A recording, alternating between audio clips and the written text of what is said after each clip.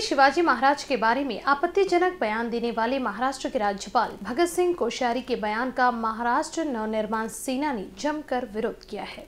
छत्रपति शिवाजी महाराज महाराष्ट्र के आराध्य देवता है। उनकी तुलना अन्य किसी से नहीं हो सकती। शिवाजी महाराज को लेकर राज्यपाल द्वारा किए गए बयान का महाराष्ट्र नवनिर्माण सेना नागपुर की ओर से निषेध कर आंदोलन किया गया। देखिए, भगत सिंह कोश्यारी जी बार बार हमारे महापुरुष के बारे में गलत स्टेटमेंट दे रहे हैं। ये वो जानबूझ के कर रहे हैं। उनको पब्लिसिटी स्टंट मान रहे हैं हम।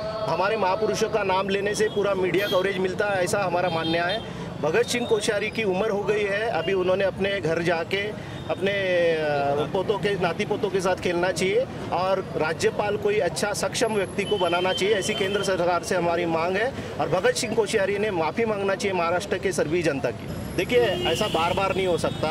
पिछली बार भी हमारे महापुरुष के बारे में उन्होंने ऐसा बोला और मैं तो ये बोलना चाह रहा हूँ कि जिस डायस से उन्होंने ये वक्तव्य किया है, उस डायस पे केंद्रीय मंत्री नितिन जी गडकरी और शरद चंद्र जी पवार भी बैठे थे। ये महाराष्ट्र के दो पूत हैं इन दोनों पुतों ने सबसे पहले उनका विरोध करना चाहिए था पर उन्होंने ऐसा नहीं करके ये साबित किया कि राष्ट्रवादी कांग्रेस और बीजेपी पार्टी का उनको समर्थन है उनके वक्तव्य का समर्थन है। ये लोग जो बड़े बड़े महापुरुषों के बारे में हमेशा कुछ न कुछ गलत वक्तव्य करते रहते हैं। अपनी ये भूमि जो है महाराष्ट्र भूमि ये संतों की और वीर पुरुषों की भूमि है और उनके बारे में ये बार बार कुछ न कुछ गलत वक्तव्य करते हैं। आज भगत सिंह कोश्यारी को इतिहास क्या मालूम है? अगर मालूम होता तो गलत वक्तव्य नहीं करते थे। मनसे ने मांग की कि बार बार बयान देने वाले राज्यपाल कोश्यारी को केंद्र सरकार वापस बुलाए। शिवाजी महाराज का अपमान करने वाले राज्यपाल के महाराष्ट्र को ज़रूरत नहीं है। इस दौरान बड़ी संख्या में मनसे पदाधिकारी एवं कार्यकर्ता मौजूद थे। कैमरा पर्सन अमोल तुमसरे के साथ क्षितिजा देशमुख बी न्यूज़ नागपुर।